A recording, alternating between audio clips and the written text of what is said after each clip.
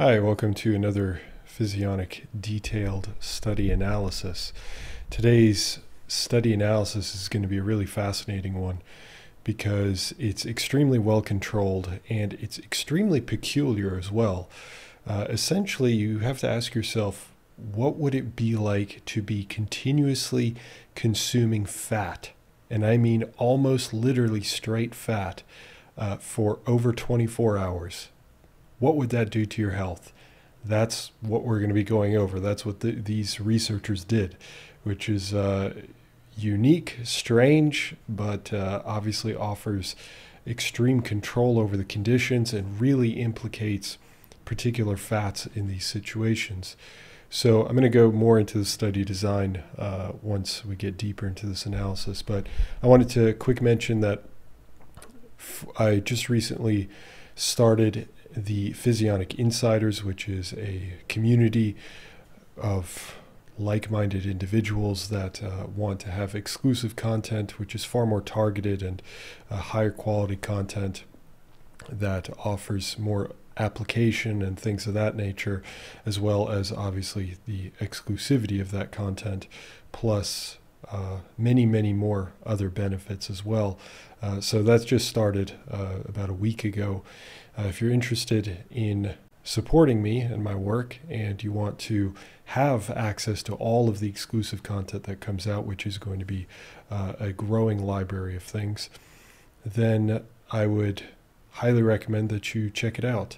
I'll post a card, and at the end of this episode, I'll remind you once again.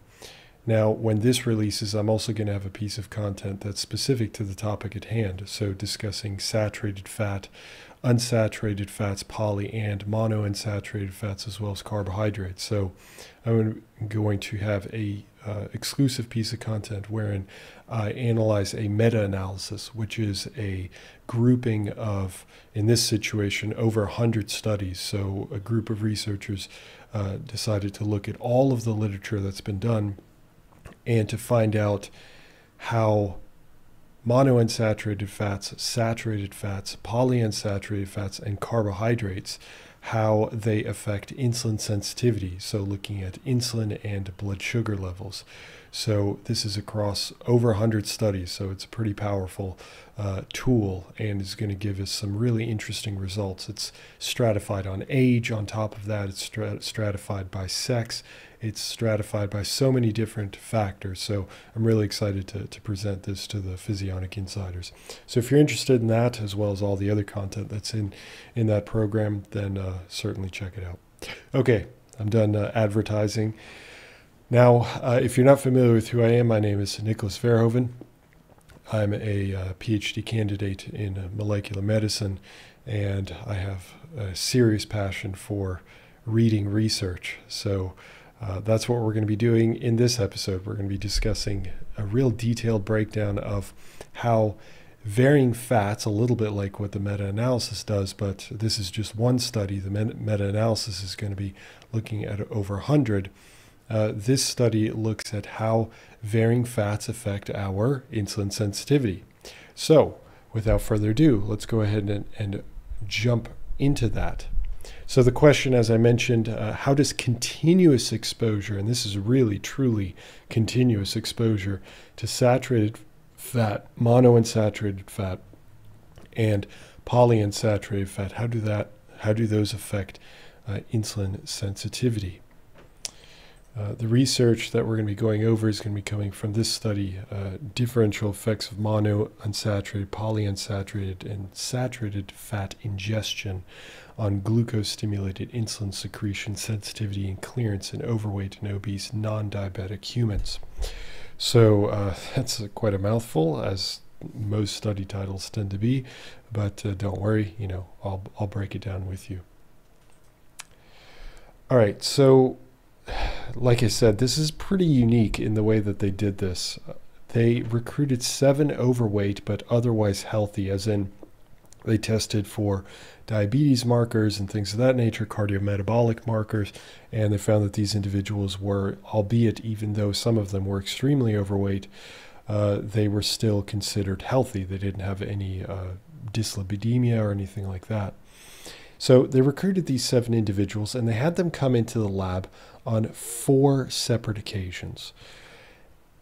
On each of those occasions, they were then instructed to consume every hour for 12 hours, and then I think every two hours.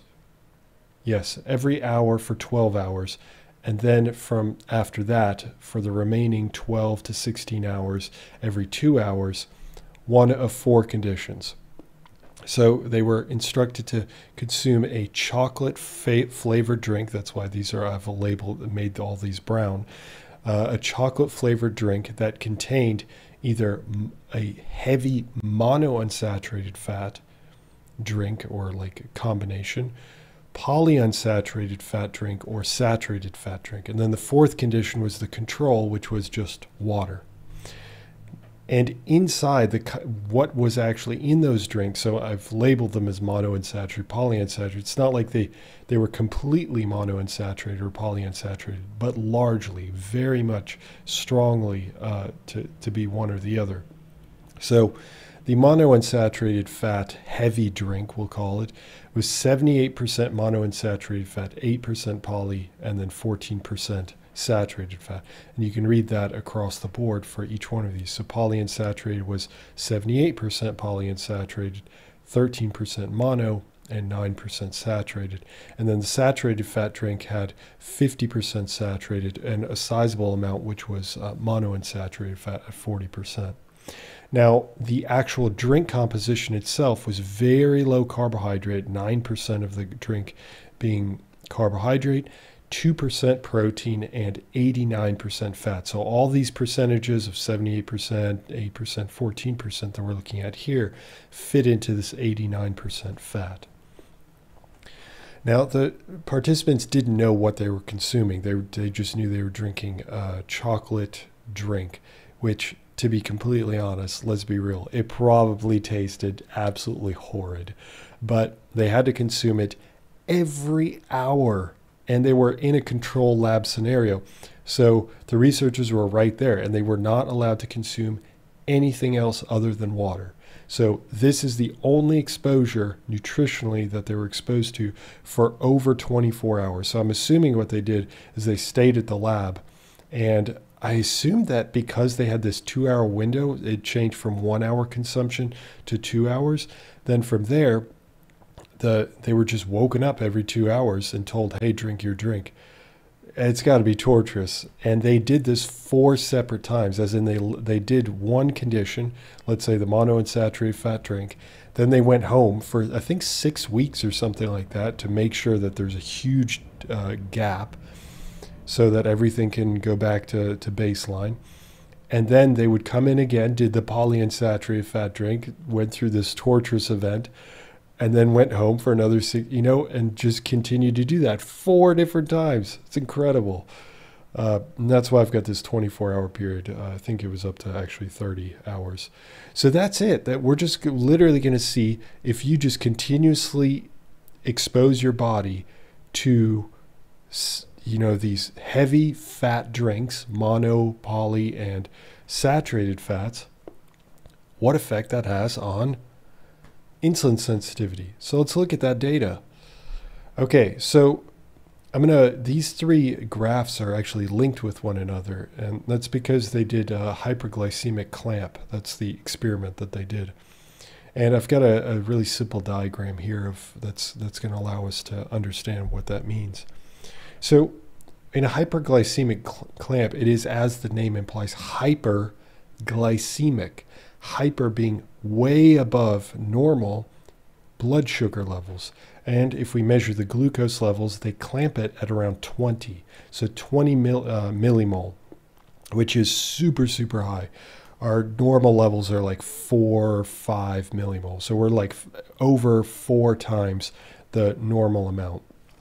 So they're actually infusing glucose, which is what I've got here. This is a blood vessel, so, you know, a vein, an artery. And so they're infusing a certain amount of glucose into or sugar into the bloodstream. And they clamp that at 20. then they measure the amount of actual infusion that they have to put into the body. The reason why they do that is because your body already has a certain amount of glucose, and as they add more glucose, then the pancreas is going to have a reaction in that it releases insulin, right? Now, that insulin in the bloodstream will then bind to the different cells. Again, this is a really basic diagram, but this is a cell will bind to the cells and allow that sugar into the cells, thereby removing glucose from the bloodstream. But we're measuring the, the blood glucose level, so we're measuring the amount of glucose in the bloodstream. So if the researchers have to start infusing more glucose because the insulin is so effective at removing glucose from the bloodstream, meaning they have to infuse more glucose from outside of the body into the body, that means that there's heightened insulin sensitivity.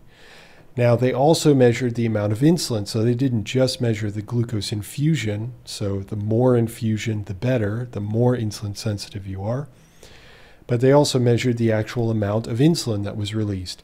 So, the best case scenario would be to have low insulin levels or lower insulin levels have the greatest amount of glucose infusion because then that means that per molecule of insulin, you're disposing of a lot of glucose into these cells, thereby reducing blood sugar levels. So hopefully I'm doing justice in terms of explaining this, but let's walk through it again. So with the actual data itself. So again, they clamped glucose at 20, so it's not like one condition had more of a benefit than the other. Here we've got our control, we've got our water, got our saturated fat condition, our monounsaturated fat, or our polyunsaturated fat. You're going to see that consistently. Then here's our glucose infusion. So this is the glucose that they add to the bloodstream. We see the control, and we're comparing against control. What do we see? We see that the saturated fat condition did not have uh, worse or better glucose infusion compared to the control. Monounsaturated fat, same situation. Now, you might look at these graphs and say, oh, well, this seems a little bit lower, but statistically speaking, it's not the case. So, in these three conditions, they were the same in terms of they infused the same amount of the glucose. The, the researchers had to give the same amount of glucose. Now, the polyunsaturated fat condition, as you can see, was significantly increased compared to control. So here we're getting more glucose infusion, which is what I mentioned is a good sign, um, unless, of course, uh, you have some sort of, of, of problem with, with insulin levels. So here we've got in measures of insulin, we see that we've got a control here, and we see that the saturated fat condition has increased insulin secretion, or at least that there's more insulin. It could be insulin secretion, or it could be the removal of insulin. Now, the monounsaturated fat had a slight increase in insulin uh, in the bloodstream as well. And the polyunsaturated fat had an increase in insulin as well that was comparable to the saturated fat. So this is pretty interesting because here we see these increases in insulin. So clearly the pancreas is reacting. Well, most likely the pancreas is reacting and producing insulin. Now, that would be expected because uh, in the control condition, you just have water, and then in these conditions, you have these fat conditions with the addition of all this this uh, glucose that they're adding. So you would expect that there would be some increase in insulin. But what's really interesting is when you compare these two graphs. So saturated fat, you see an increase in insulin secretion, but you don't see a necessary increase in glucose infusion rate. In the monounsaturated fat, you don't see quite as much of an increase in insulin, also you do, although you do see a slight increase, but the glucose infusion stays the same. However, the polyunsaturated fat, sure, there's an equal increase in insulin as the saturated fat, but you also see an increase in glucose infusion. So if we put all those factors together, so we're looking at them in isolation here, if we look at our next piece of data, this is a combination of all those factors put together uh, into another graph. So here, again, on our vertical axis, we're looking at our glucose infusion rate. So the higher this goes up, obviously, the more glucose is being infused into the bloodstream. On this horizontal axis, we're seeing that this is the insulin level. So, with increasing insulin levels, so we're trying to find the relationship between insulin levels and glucose infusion. So, in our control, we see that we have low insulin levels and we have this standard amount of glucose infusion. With our monounsaturated fat, we see low, relatively low insulin levels, but we see a slightly higher glucose infusion rate. And this is a linear relationship. Because, so from here to here, we've got a linear relationship. This is, uh, you know, indicates that you've got uh, normal insulin sensitivity. Now I'm going to skip over saturated fat for a second, but polyunsaturated fat, there's an increase. So there's high levels of insulin, but there's also massive or much greater uh, glucose infusion. So that means that the insulin that is being provided is being used then to shuttle that glucose into the cells. Now, if we focus on saturated fat, however, we get to higher insulin levels, but we see far lower glucose infusion rates, which means that the insulin is being secreted, it's being pushed out there into the bloodstream. But what insulin is there is leading to fewer glucose molecules or sugar molecules being removed from the bloodstream into the cells. So, this is an indication here that the control, the monounsaturated fat, and the polyunsaturated fat lead to, at the very least, normal insulin sensitivity. You could argue for better insulin sensitivity and the saturated fat condition leads to dramatically impaired insulin sensitivity. So, to walk us through this in conclusion, this study suggests that continuous, and that's really important, continuous exposure to saturated fat, specifically palmitate, reduces insulin sensitivity, while the unsaturated fat, and especially the polyunsaturated fat, increases insulin sensitivity.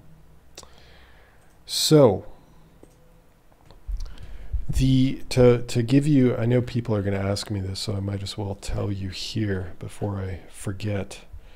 The basis for the the the, the fats, the oils that they used for these drinks. So the monounsaturated fat condition was based on olive oil. The polyunsaturated fat was based on saf, safflower oil and the saturated fat was based on palm oil. That's why I uh, wanted to mention specifically that it's palmitate specific saturated fat. If this applies to other saturated fats, we cannot glean that from this information.